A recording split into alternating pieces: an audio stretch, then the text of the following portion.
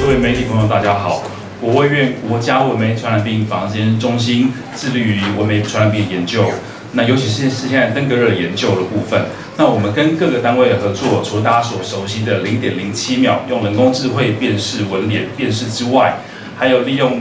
呃无人机在屋顶或者地下下水道进行资生源的搜寻投药之外。国卫院也致力于科普教育，非常着力非常深。那国卫院跟国立科学工艺博物馆共同合作设计这一套灭飞特工队，这是一套登革热防治行动教具。我们当初设计这套教具的概念，就是可以让所有的登革的知识还有标本转译成这五个关卡，以类似密室逃脱的概念，通过每一关有一个关卡可以转闯下一关，通通放到这个行动教具箱。我们提供给各个国小，然后来能够巡回的，能够让他们在自己的学校就能得到一样的知识，而不一定要到国院，甚至到科博馆，而到博物馆就能够进行这样的知识的交流。那目前这套行动教育箱已经有或有台湾大概两百所的国小来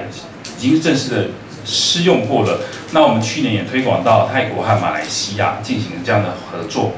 那今天因为时间的关系，我们把其中有一关叫做资深员纠察队，我们以拼图的方式跟小朋友做直接的互动，让他们能够了解什么是家里真正有可能的资深员，而什么可能是我们一般想的，但是平常它并不是资深员。另外，我们佛国高中生，我们设计另外一套 VR 虚拟实境的这样的行动教具的方式，他们可以利用虚拟实境直接找到家里，不管是室内，不管是户外，有任何资生源的可能性。所以，我们。文媒病文媒中心就推广这一套，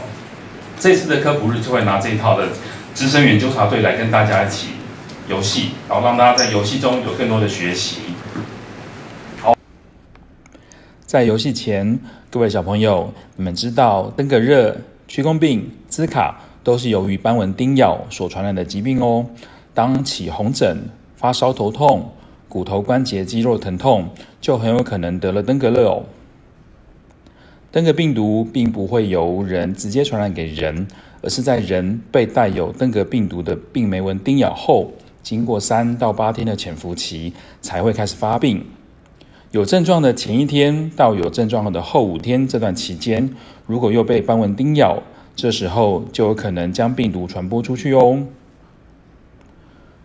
如何降低得到登革热的风险呢？就是要先消灭滋生源。我们可以从寻。到清刷四个字的口诀来进行居家室内与户外的环境清理。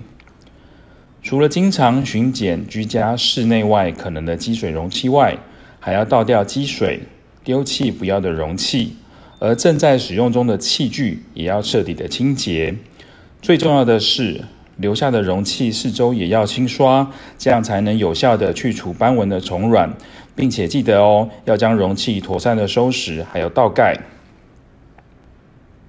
我们今天的游戏就是让小朋友从居家的社区十六张场景拼图中找出十张资生源，借以从游戏中强化小朋友对于资生源的概念，进而把正确的观念带回家与爸爸妈妈与阿公阿妈分享哦。